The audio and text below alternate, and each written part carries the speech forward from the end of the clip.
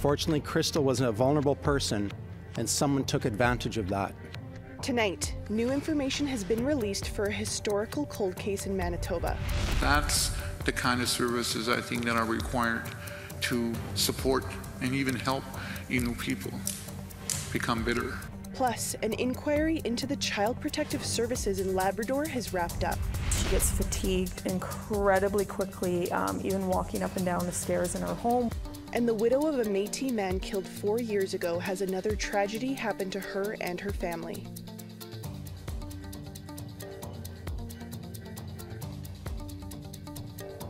Good evening and welcome to APTN National News. I'm Savannah Kelly. RCMP Major Crime Services in Manitoba have released new information in a historical homicide investigation dating back to 2007. A man has been charged in connection with the death of 26-year-old Crystal Saunders, a Métis woman from Winnipeg. Tamara Pimentel has more. It's been almost 17 years since Crystal Saunders went missing from Winnipeg and found dead near St. Ambroise, Manitoba, a day later. On Friday, RCMP arrested Kevin Q in Vancouver and charged him with second degree murder for Saunders' death. Crystal was a mother, she was a daughter, and a friend to many that needlessly lost her life to violent crime. Crystal also struggled. She was exploited and had issues with addictions. Unfortunately, Crystal was a vulnerable person, and someone took advantage of that. In April 2007, Saunders was last seen by an on duty Winnipeg police officer in Winnipeg's West End. The next morning, she was found by an off duty RCMP officer who was checking his trap line. DNA evidence led to Q's arrest.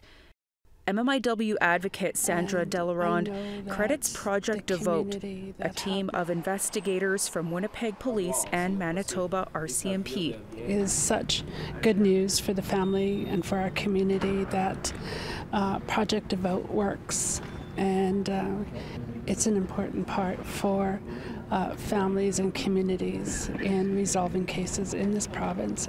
Delaronde says the news about Saunders brings closure and hope to Indigenous communities in Manitoba. Tamara Pimentel, APTN National News, Winnipeg. Still in Winnipeg, a First Nations man is dead after an interaction with the Winnipeg Police Service early Saturday morning saw him become unresponsive. A warning to viewers, the following video may be distressing. 35 year old James Wood appears to be unresponsive as Winnipeg police carry him to a cruiser in this video captured by a bystander. According to WPS, police were called just after midnight Saturday morning by Wood's girlfriend. She said he was intoxicated and that she was worried for her children's safety. Minutes later, another caller from the complex said Wood was collapsed outside in the parking lot. Police arrived soon after and restrained the man. Other media are quoting eyewitnesses who say the man may have been tasered by police. After becoming unresponsive, he was taken to hospital where he died later that day. WPS Chief Danny Smythe says the Independent Investigation Unit of Manitoba is investigating. Certainly, we're aware that things can occur or be captured in little snippets online, and a whole narrative could take off without anybody really knowing what occurred. Um, I think it's important that we try to provide some context, but also respecting the fact that IIU still has to investigate it. So it's a balancing act between trying to provide enough information to the public, but respecting the integrity of the investigation. Bradley Barton has lost his appeal for a new trial for his manslaughter conviction in 2021 for the murder of a Cree Métis woman. The Alberta Court of Appeals decision was unanimous as it upheld Barton's 12 and a half year sentence in the 2011 death of Cindy Gladue in an Edmonton hotel. Gladue bled to death after a sexual encounter with Barton. In a statement, Gladue's family says they are deeply relieved with the decision and are asking for privacy. Cindy's mother, Donna McLeod, hopes her daughter's spirit will now be able to rest because of this ruling. Today begins week three of the inquest into the stabbings on James Smith Cree Nation and in the nearby village of Weldon. Today we heard from the Parole Board of Canada. Reporter Rachel May has more. Monica Irfin with the Parole Board of Canada took the stand this morning to explain why Myles Sanderson was not in prison when he killed 11 people and injured another 17 in September 2022. Irfin said that the Parole Board of Canada considered Sanderson an excessive risk, but added conditions to his release, which he would later breach. He was supposed to abstain from drugs and alcohol, having relationships with women approved, and not associating with people consuming substances or committing crimes. Despite a recommendation that Sanderson be returned to prison, the parole board released him again, stating that his risk was being managed with his conditions. Kim Beaudin is National Vice Chief of the Congress of Aboriginal Peoples. He's been observing the inquest. He says jury recommendations can make a difference they can make a difference in terms of um, like policy policy changes. For example, within corrections would be a big one. Beaudin says that the system needs to follow through on the jury's recommendations, unlike in previous inquests. A lot of times when, when there's recommendations, they tend not to be followed. Two elders with Correctional Services Canada spoke today about Sanderson's involvement with cultural practices and his healing plan to address his anger issues prior to release. The inquest is expected to wrap up tomorrow, but could possibly go later into the week. Rachel May, APTN National News, Melfort, Saskatchewan. A family that suffered the loss of their husband and father is now facing another crisis. Sarah Sansom's husband, Jacob Sansom, and his uncle were shot and killed four years ago. Now their 16-year-old daughter has been diagnosed with a degenerative disease that will leave her in a wheelchair. APTN's Chris Stewart spoke with Sarah on how she's dealing with this devastating news. In March of 2020, Jacob Sansom and his uncle Maurice Cardinal lost their lives in rural Alberta. The two Métis men were hunting when an altercation with two men, Roger Bilodeau and his son, Anthony Bilodeau, ended with both Jacob and Maurice being shot and left to die. Both Roger and Anthony Bilodeau are in prison for their deaths. It was a huge blow to the close-knit Sansom family, whose lives were forever changed. Now, more pain for Sarah Sansom, Jacob Sansom's widow, and her kids. Their oldest daughter, 16-year-old Sierra, has been diagnosed with Friedreich's ataxia, it is an incurable, degenerative disease that damages the spine, nerves, and parts of the brain. It affects people's ability to walk, can cause vision and hearing loss, affects speech, and can damage the heart. Sarah says Sierra has been showing signs for almost a decade that doctors could not find a diagnosis. And after Jacob's death, she says her deterioration quickened. Before he died, she was still able to dance. She was still, still able to um, uh, ride a bike. Um, over the last few years, it's to the point where she cannot walk half a block. She falls over very easily. She loses her balance. She gets fatigued incredibly quickly, um, even walking up and down the stairs in her home. The condition will have her in a wheelchair in her 20s, and currently there is no known cure. Knowing she's never going to dance again, knowing she's never going to ride a bike. Um, her dreams of being a biologist in Australia. And she can't do those things anymore. But to help her stay mobile now, the family have ordered a wheelchair, and it will arrive in the next six weeks. She's a pretty strong kid.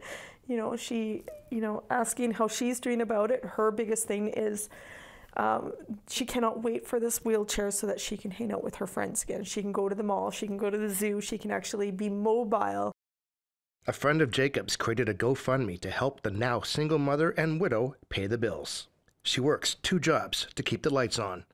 Her doctor advised her to quit at least one. Already with the two jobs and all my and all the hours I'm able to work now, I'm barely making ends meet. And if I have to quit even or even cut down hours, it's it's it's going to make it so I can't make ends meet. Donations have been coming in, but not nearly enough to help long term. She is asking for the public's help. With all these appointments and everything, and I'm already exhausted. I'm done. Like I'm, I'm like, how am I going to continue to work two jobs, take time off at both jobs for all these appointments, court, everything else, because I still have court, we still have appeals, we still have parole board hearings. Sarah says any donation amount helps. Chris Stewart, APTN National News, Calgary. We want to hear what you think about this story or any other story you see here tonight. Here's how to continue the conversation. If you have a story you want to share, send us an email to news at aptn.ca. To read and watch our stories, go to aptnnews.ca. You can find us online on your favorite social media sites, including TikTok, YouTube, LinkedIn, and X, previously known as Twitter. Follow APTN News to join the conversation and see our latest stories. We need to take a short break. Coming up, a new warming center in Whitehorse is hoping to keep vulnerable people out of the cold this winter. Plus, an inquiry into the experiences and treatment of Innu children in care wraps up in Labrador. And I know utilizing and working with people on land, utilizing your own culture, your own positive things, you will get more rewards, more positive in terms of when we talk about prevention.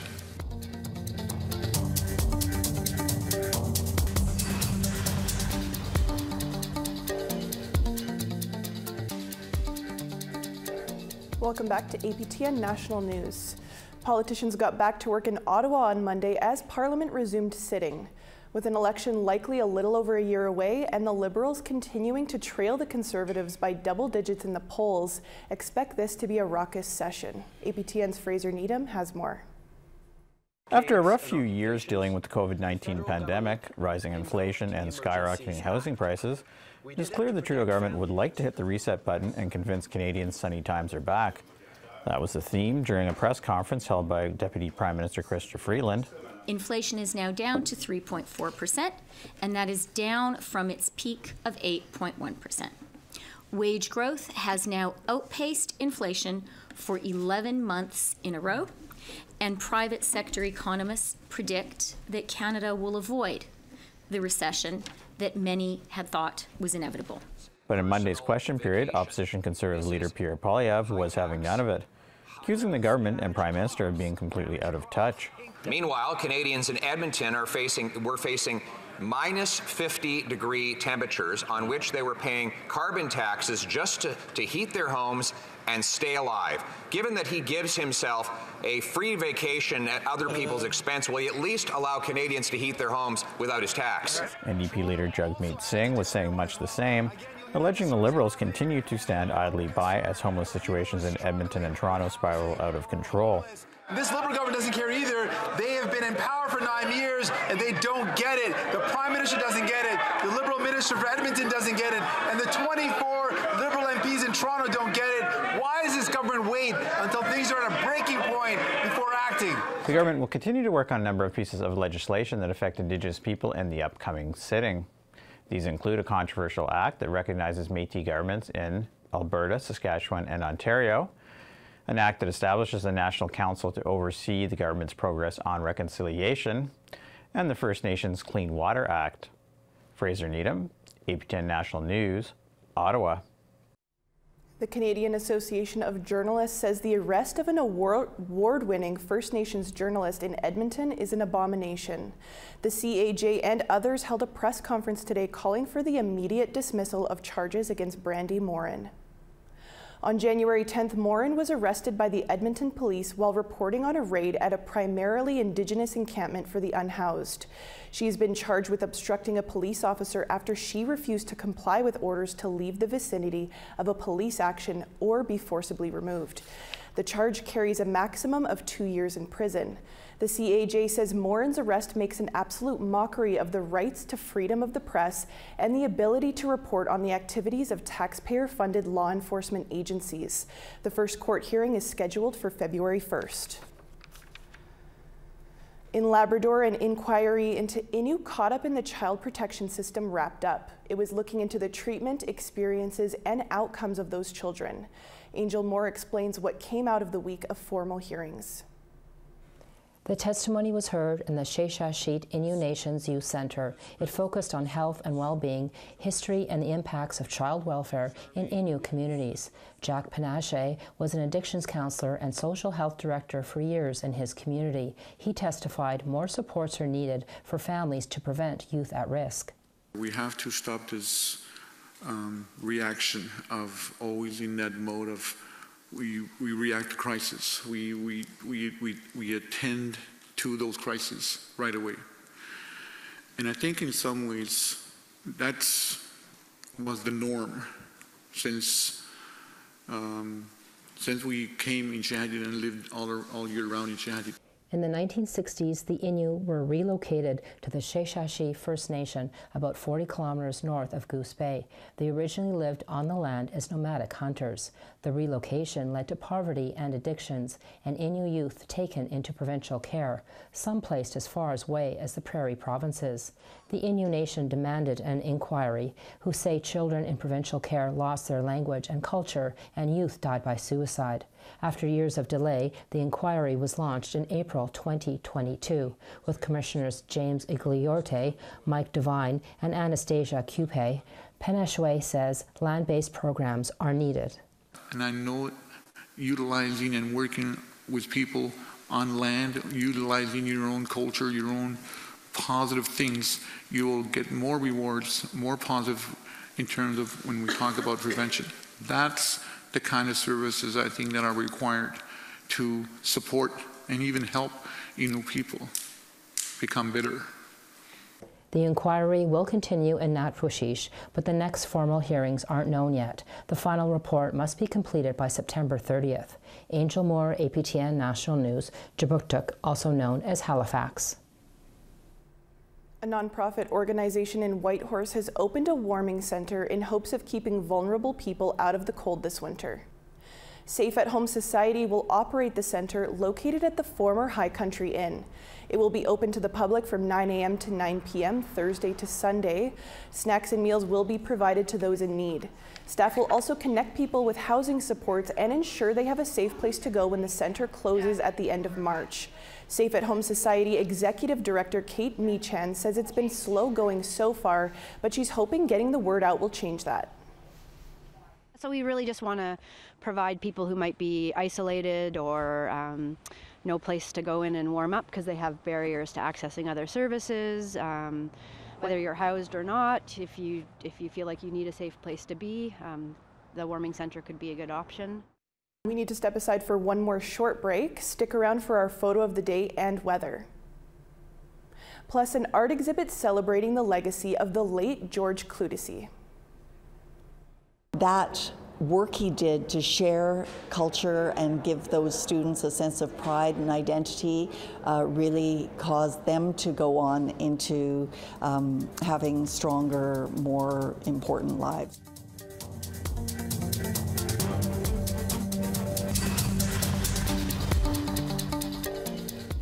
Welcome back. Time now for our photo of the day. How about this sunrise from Victoria, British Columbia?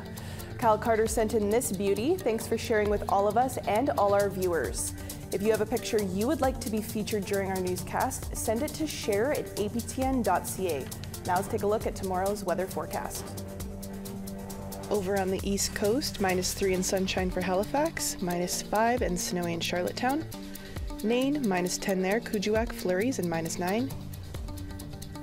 St. Jovite, minus 3 and sunshine there, Montreal, minus 7. Sarnia, snowy and plus 2, Sault Ste. Marie, 3 degrees. Kapuskasing, flurries, 3 degrees there, Sioux Lookout, plus 2. God's Lake, rainy and 4 degrees there, Thompson, sunshine and 5 degrees. Dauphin, sunny and 4 degrees there, Berens River, plus 2. Swift Current 13 degrees and sunshine there, Saskatoon sunny and plus 5.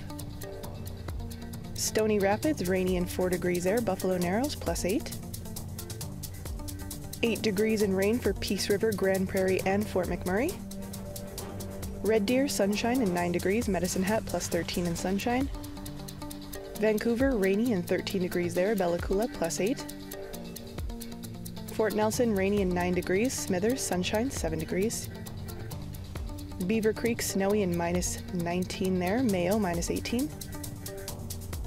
Norman Wells minus 15 there, Fort Simpson minus 1. Paulatuk snowy and minus 15, Sachs Harbor minus 27 and sunny. Baker Lake minus 20, Naujaat sunshine and minus 31. Arctic Bay minus 35 and sunshine there, Gjoa Haven minus 28.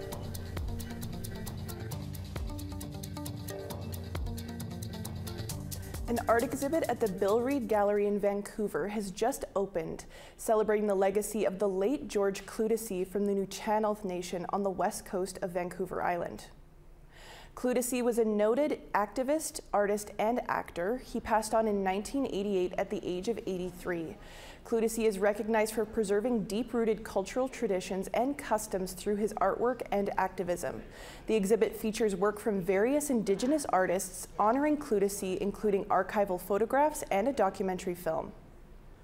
He spent 10 years at residential school, but he was born to a very cultural family in Port Alberni, and he managed to retain his language and his culture. He went on after his time at residential school. He worked in, in different uh, careers, but he had, after a back injury, he ended up working as the custodian at the Alberni Indian Residential School, and, uh, and then he became a really important mentor to the young students students who were still at the school. Uh, that work he did to share culture and give those students a sense of pride and identity uh, really caused them to go on into um, having stronger, more important lives. A teenage hockey player from Nipissing First Nation who's currently playing in Southern Ontario has been busy trying to help his community back home. He's collecting bags of used hockey equipment and donating it all to North Face Shooting Stars team, which is a program for people with developmental disabilities. CTV's Eric Taschner has more. 14-year-old Xavier Bocage likes to set an example both in hockey and in life. Like helping out kids, you know, just like being, being a leader is always amazing, you know. So he came up with an idea last year to donate some of his own used hockey gear to kids with disabilities who play the game. I was at the rink and I, I saw them playing, you know, and like I thought like maybe there's some kids that don't have equipment and like maybe I should like give back. The young defenseman rallied his friends on the team he plays for in Burlington to scrounge up more equipment and they agreed to chip in. They were like really happy to like help out. Bocage donated 14 duffel bags full of hockey equipment, sticks, pads, gloves, and more to the Shooting Stars, a team in North Bay that offers a program for players with disabilities. It's amazing to see him give back to the community, give back to the to to kids that who don't really are are not really privileged to to afford uh, equipment. With autism services being cut back in funds, families have to choose lots of time between what they have available to their child. You know, we're making the door open again. The Bocage family says Xavier is guided by his team's mandate to be courteous at all times, both in hockey and in life. And they say he's happy to do this for the shooting stars back near his hometown. He's absolutely scoring both on and off the ice. Last year, um, he he was able to go right on the ice with them and spend a whole um, practice with them. Probably going to try to keep it up for like as long as I can. Eric Taschner, CTV News, North Bay. Awesome initiative there, Xavier. And that's all the time we have for you tonight here on APTN National News. For news anytime, visit our website at aptnnews.ca. I'm Savannah Kelly. Marcy Miigwech, thank you for joining us tonight. Take care and have a great night.